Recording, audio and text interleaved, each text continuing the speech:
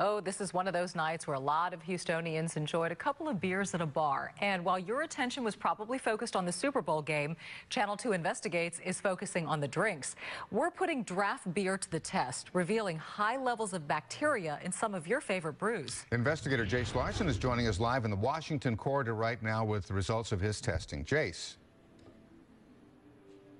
Hey guys, you know, we know that the health department regulates all things when it comes to food, but we've learned that there's nobody regulating draft beer lines. These are a couple examples here. It's what your beer flows through before it ends up in your glass, and look at how dirty some of them are. Fellow beer drinkers, meet Izzy and Cameron. So we work together. We get a lot of happy hours. Co-workers and beer lovers. When I drink beer, I drink beer. I'll drink anything, okay? I'm a fish. When swimming from bar to bar, Cameron is armed with some age-old family advice. They believe that draft gives them a hangover, whereas bottle doesn't. John Torrentino believes that.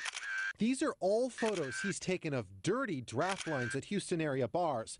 His company cleans draft systems. So when you go and buy that $8 craft beer, that's what it's going through. To see if Houston area bars were doing their part, we set out on one of our more memorable undercover assignments.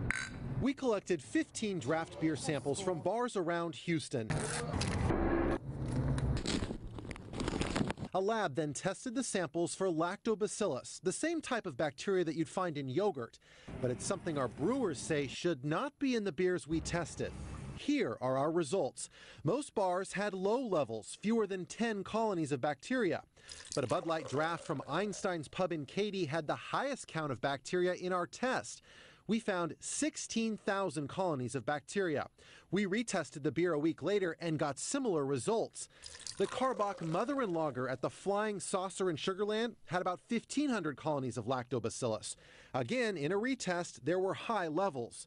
At Hay Merchant in Montrose, we found 1,500 colonies in a St. Arnold lawnmower but the retest here showed extremely low amounts. There's multiple opportunities for the beer to become contaminated with foreign bacteria. Without being able to eliminate all those variables, it's really hard to make a determination as to where a beer might have gotten contamination. The Hay Merchant's owner says the line for the beer where we found bacteria was cleaned last week. The Katy and Sugarland bars tell us they rely on their distributors to clean their lines. Though both locations tell us Silver Eagle Distributors was out cleaning their lines after we called. Typically, you want to be cleaning draft lines every week to two weeks at the most. You're not dealing with a dangerous issue here you're dealing with a, a, quality issue. At St. Arnold Brewery, they say draft line bacteria won't make you sick, but it could make the beer taste terrible. A lot of sourness in a beer that shouldn't be sour. Uh, or if you get a strong buttery or butterscotch flavor. St. Arnold employs a lab manager with a PhD in biology, all to make sure there's no bad bacteria in their beers. Across town at Karbach Brewery, they also test every batch. They have to taste great. As for the theory that dirty draft lines cause hangovers, well, not everyone is so sure that that's really true. If you have a hangover, it probably has to do with how much beer or whatever else you were drinking that night. I drink so much beer, there's no way to isolate isolate what bacteria I was drinking that night. Well, the next time you're out, if you get a beer and it just doesn't taste right, you can send it back. You might also ask your bartender when the last time they cleaned the lines at that establishment. We're live along Washington Corridor. Jace Larson, KPRC, Channel 2 News. Thank you, Jace. Uh, Silver Eagle distributors would not respond directly to the results found at the Katy and the Sugarland bars. But the company says in a statement a large number of variables can affect testing results, including management of the sample, equipment used, and how it's calibrated and the testing method, end quote.